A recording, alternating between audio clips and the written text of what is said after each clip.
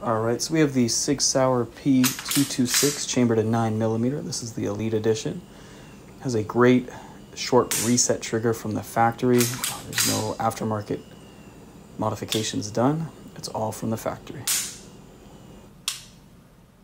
And this is my custom CZP01, also a 9mm. I installed the Cajun Gunworks Pro package. The trigger doesn't have as good of a reset as a Sig Sauer, but it is a lighter trigger.